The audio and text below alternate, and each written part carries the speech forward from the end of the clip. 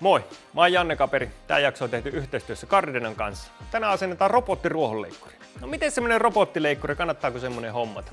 No silloin kun sulla on robottileikkuri, niin sulla on koko ajan tasainen ja hyvinvoiva nurtsi.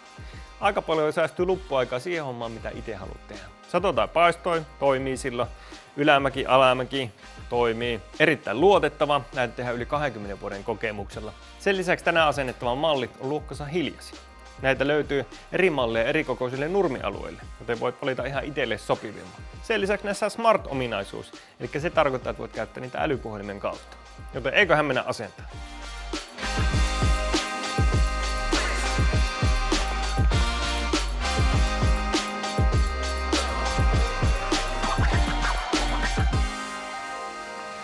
Ennen kuin ruvetaan asentaa, pitää tietenkin unboxata. Ensimmäiseksi tulee rekisteröimisohjeet. Tää tosissaan kannattaa rekisteröidä takuu pitenee vuodella. Sen jälkeen löytyy tää Smartboxi. Tästä kerron vähän myöhemmin lisää. Kaapeli. Lisää kaapelia. Toinen virtapiuha. Ja käyttöohjeet, totta kai. Oho, nyt se löytyy. Eli Gardeno Sileno Live Smart Tonninen. Tää tosissaan ei ole tuhatta neliöä tää piha, mutta Myöhemmin selviää, miksi me otettiin tämmöinen tuhannen neliön kone. On tulossa pieni ylläri tämän asennuksen kanssa sitten. Paketista löytyy iso kelaa rajakaapelia. Tällä sitten rajataan koko se alue, missä leikataan ja myöhemmin näytetään, miten tämä asennetaan. Latauspiste ja telakan pohja. Nämä voi yhdistää jo tässä vaiheessa. Sitten löytyy paljon näitä, millä laitetaan tuo rajakaapeli maahan kiinni.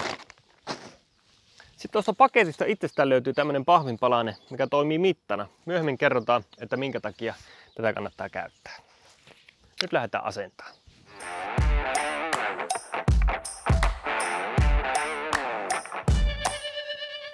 Asennus alkaa telakkapisteen valitsemisella. Me ajateltiin laittaa se tähän.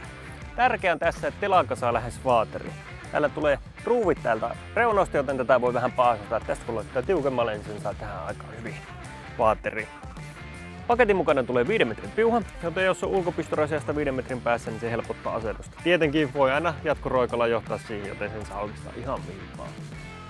Hyvä on laittaa tämmöisen varjosaan paikkaan, koska se sitten pidentää vähän käyttöä, ikään kuin muovi ei pääse haalistumaan niin nopeasti. Ettei ainakaan koko päivää paista se aurinko siihen.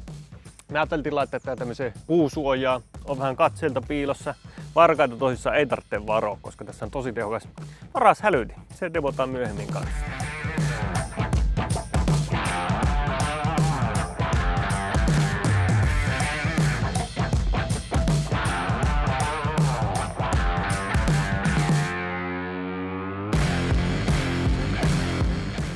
Tähän väliin semmonen testi, että mitä käy, kun leikkuri kohtaa omena.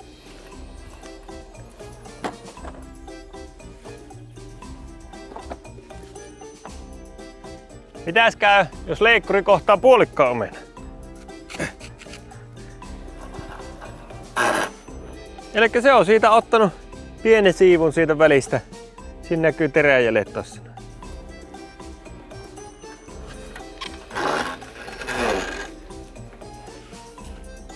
Tuo.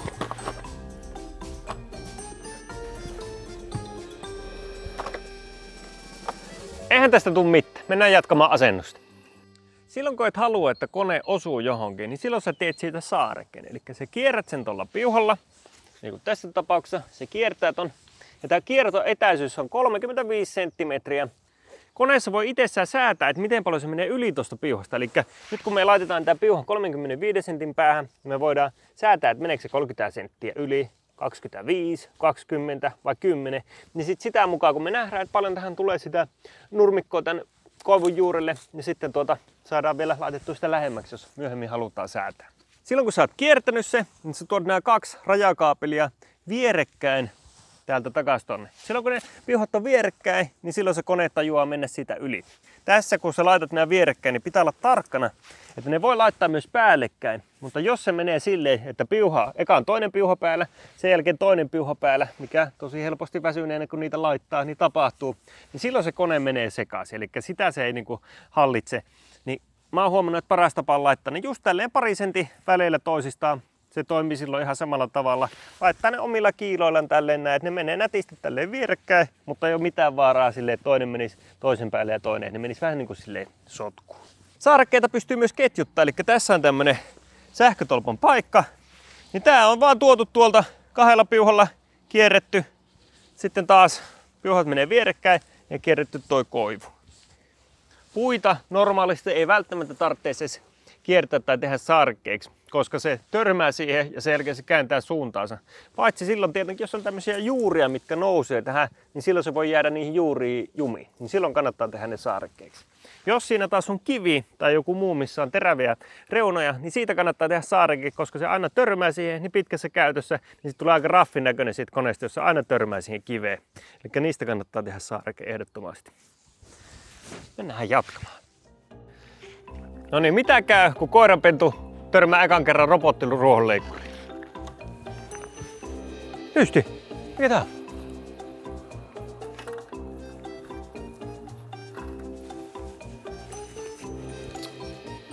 Tää olikin erittäin lyhyt testi, se ei välitä siitä pätkääkään. Mitä sieltä löytyy? Mitä sieltä löytyy? Mennään jatkamaan asennusta. Rajakaapeli asennetaan 35 sentin päähän reunasta. Tässä tapauksessa tuo reuna on vähän häilyvä, joten mä menen vähän kuin sinne päin. Mutta jos siinä on pihakivetys tai joku, niin silloinhan saat aika tarkasti sen 35 senttiä siihen. Isket vaan tiukasti kiinni. Myöhemmin kerrotaan sitten tarkemmin, että minkä takia just 35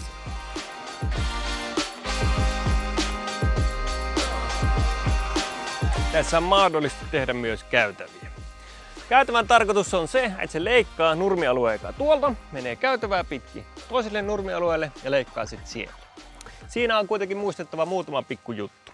Eli reunakaapelista hakukaapeliin pitää olla minimissään 30 senttiä. Tässä tapauksessa reunakaapeli on tuossa, hakukaapeli tullaan laittamaan tähän, niin se on 40 senttiä. Toinen reunakaapeli laitetaan 40 sentin päähän tänne, joten käytävän levyys on yhteensä 80 senttiä. Se on aika näppärä vetää tuolla laatan raossa, mutta se voi vetää myös laatan alla. Siinä ei ole mitään ongelmaa, se voi mennä jopa 15 sentin syvyydessä. Tässä tapauksessa vedetään tämän yhden laatan alituosta, niin se menee sitten näppärästi tonne. Seuraavaksi asennetaan hakukaapeli. Hakukaapeli on siis aivan sama kaapeli kuin tuo rajakaapeli, mutta se vaan asennetaan tuosta keskeltä menemään ja sitä pitkin se kone sitten löytää tänne lataukseen. Sitä voi myös ohjelmoida, että se kone menee sitä hakukaapelia pitkin tuonne toiseen päähän ja aloittaa sieltä leikkaamisen, jos näin halutaan. Asennus tapahtuu näin. Se menee täältä pohja ali. Täällä on tämmöinen kouru sille. Eli siihen voi paikalleen. Noin. Ja taas ainakin se 20 senttiä tänne löysää. Ensimmäiset kaksi metriä olisi hyvä vetää ihan suoraan tai niin suoraan kuin on vaan mahdollista. Sen jälkeen erittäin loivilla käännöksillä ihan sinne pihan perille saakka. Tässä on hyvä esimerkki paikasta, missä on niin kuin monttu. Eli näin, jos se vetäisi, pingottaisi tästä yli, niin se kone saattaisi itse katkaista tämän piuhan. Eli tämmöinen monttu kun tulee vastaan, niin laitetaan yksi tänne montun pohjalle. Näin.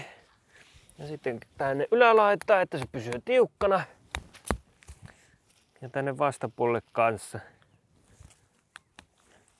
Nyt päästäänkin tänne nurkkaan, eli täällä mulla on kolme piuhaa, yksi joka tulee vasemmalta, yksi sitten on tää hakupiuha tässä keskellä ja sitten toinen mikä tulee täältä oikealta. Eli tänne pitää tehdä sitten tämmönen kolmen piuhan liitos tämmöisellä liitoskappaleella, joka oli kanssa siinä paketissa. Tässä tärkeää on, että piuhat ei taaskaan sotkuu kannattaa katkaista ne saman mittaiseksi. Työnnetään nämä piuhat ihan tänne niin kuin perälle saakka. Näin. Ja tää on tärkeä juttu sitten. Tässä monella menee vikaa.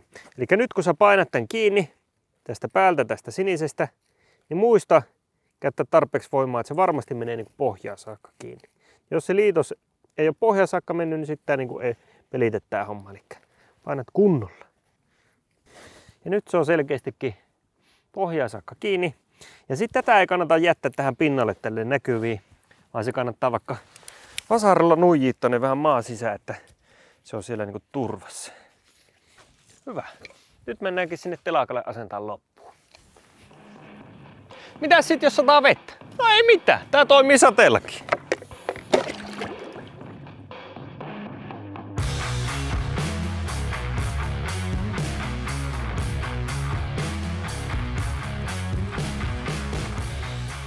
Mennään taas jatkaa asennusta.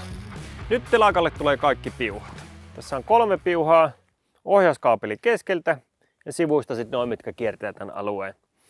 Pätkäsen ne silleen, että ne ei ole liian pitkiä. Tässä nyt on vähän liikaa löysää. Katsot, että yltää takana oleviin plugeihin ja katkaiset sitten oikeasti kohti. Sen jälkeen otat tämmöisen liittimen, laitat sen tuohon kohilleen ja sitten pihdeillä kiinni ja taas Laitat vaan reilusti voimaa, että se varmasti on pohjassa. Sitten kun se on pohjassa, niin se voi liittää tuonne oikealle paikalle. Eli näin. Samaan teet näille kolmelle muullekin piuhalle ja sitten vaan virta kiinni. Nyt sä näet heti, että onko se oikein asennettu. Tuolla nimittäin on valo ja sen pitäisi välkkyä vihreänä. Nyt se välkkyy sinisenä, joten se tarkoittaa, että kaikki ei ole oikein asennettu. Mikä onkin ihan oikein. Mulla on nimittäin puuttuu tuolta vielä pari piuhaa. Mutta katsotaan muuttuuko se vihreäksi, kun saadaan piuha asennettua. Silloin kun kaikki on asennettu oikein, vihreä valo palaa yhtäjaksoisesti. Seuraavaksi sitten asennetaan tämä telakka maahan kiinni. Siihen on tämmöiset ruuvit jokaisesta nurkasta. Näin. Näin. Ja se sitten pyöritellään kiinni kuusikolon avoimilla. Alussa asennat päivämäärän, ajan, kielen ja sen jälkeen painat, että kalibroi hakukaapeli. Se ajaa hakukaapelin toiseen päähän ja sitten tulee takaisin. Katsotaan mitä muita ominaisuuksia täältä menusta löytyy. Tällä määrität leikkauskorkeuden. Eli nyt se on vitosessa. Annetaan nyt alussa olla vitosessa, kun se leikkaa ekan kerran, niin on sitten korkealta leikattu. Näin. Sen jälkeen tässä on menunappi. Painat menusta. Alussa kun laitoit niitä kieliä ja muita, niin se kysyy tuosta ajastuksesta. Painetaan siitä. Eli ohjaus, niin se kysyy nurmikon kokoa. Me laitettiin siihen 1004. Ja päiväkohtainen ajastus, se laittoi automaationa siinä kahdeksasta tuota, 20 vaille 11 illalla. Eli nyt se ajaa siitä aamu kasista sinne iltaan asti tunti aina latingissa ja tunti ajoa joka päivä. Mahdollisuuksia on monia. Jokaiselle päivälle voit ajastaa vaikka erilaisia ajastuksia, että se ajaa toisena päivänä yöllä, toisena aamusta. Siis todella paljon vaihtoehtoja. Näitä säädetään ajastusvalikosta. Seuraava valikko, Sensor Control. Painetaan siitä. Eli se on semmonen, että jos se ajaa tuolla eikä terät saa niinku vastusta, että ei ole mitään leikattavaa, niin silloin se ei turhaan rupea siellä leikkaamaan. Eli sitä kannattaa käyttää kanssa. Seuraava valikko on Smart System. Eli siihen tarvitaan tämä boksi. Viet sisälle, isket piuhat kiinni, virran päälle. Pohjasta löydät tiedot, mitä tarvitset asentamiseen. Sitä kautta saat kännykkäapin kautta toimimaan tämä säätämisen. Käydään nyt kuitenkin tämä läpi tältä koneesta käsi. Se kännykkäappi on sitten vaan semmonen helpotus, kun sen asettaa. Viimeinen valikko on asetukset. Eli ensimmäinen on turvallisuus. Siitä kun painaa, niin se kysyy PIN-koodia. Laitetaan se. Turvallisuustaso on kolme alhainen, keskitaso ja korkea. Meillä on nyt korkea turvallisuustaso ja kohta näytetään teille, että miten se hälytin rupeaa huutamaan, jos joku yrittää nyt pölliä. Näitä alueita kun määrittää, niin voi esimerkiksi määrittää neljä aluetta. Että 25 prosenttia niin se lähtee tästä. Leikkaa tästä eteenpäin 25 prosenttia vaikka toisesta päästä ja sitten kahdesta eri pisteestä tuosta matkalta, niin silloin tulee kattavasti leikattua koko alue. Näin pienessä nurtsialueessa sillä ei ole kyllä mitään väliä, se leikkaa ihan yhtä hyvin, vaikka ei laittaisi mitään tuohon. Mutta jos on tosi iso nurmikkoalue, niin silloin tämä korostuu. Sitten löytyy asennus. Tältä löytyy tämmöinen kuin käynnistyskaapelin yli. Tästä kun painat, niin tässä määrität se etäisyyden, miten paljon se ajaa tuon kaapelin yli, kun se leikkaa. Eli tässä voit laittaa 40 senttiä saakka. Ja kun me asennettiin tuo rajakaapeli 35 senttiä siitä reunasta, niin me voitaisiin laittaa tämä vaikka, että se ajaa 33 senttiä sen kaapeli yli. Katsotaan, että miten se toimii. Jos se jättää sinne rannun, niin sitä voi lisätä tai sitä voi vähentää. Mutta siinä olisi nyt niin pelin varaa kumpaakin suuntaan. Sitten saa pakkassensori, ei turhaan lähde pakkasella ajamaan nurtsia. Siinä nyt oli aika lailla kaikki käyty läpi. Nyt pöllitään se!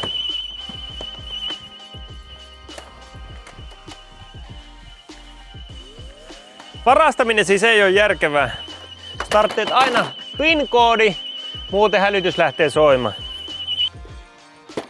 Päästetään se homma.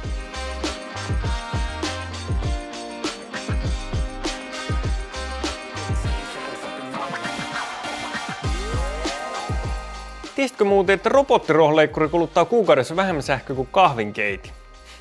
Se on aika vähän. Pesu tapahtuu puutarhaleitkulla, terienvaihto tarvittaessa. Hyvä nyrkkisääntö on, että kerran kaudessa kannattaa vaihtaa terät. Alkukesästä kun laitat uudet terät alle, niin jaksaa taas leikata. Takuu oli kaksi vuotta, siihen sai yhden vuoden lisää, kun käyt rekisteröitymässä. Talvisäilytys on lämpimässä. Laitahan peukku, jos tykkäsit tästä pätkästä. Tuonne kommentteihin voit laittaa jotain kyssäreitä tästä, me luetaan ja vastataan ihan joka ikiseen. Laita kanava tilauksia, jos et ole vielä laittanut. Näitä nimittäin tulee viikoittain. Mä oon Janne Kaperi. Nähdään seuraavassa jaksossa. Morjens!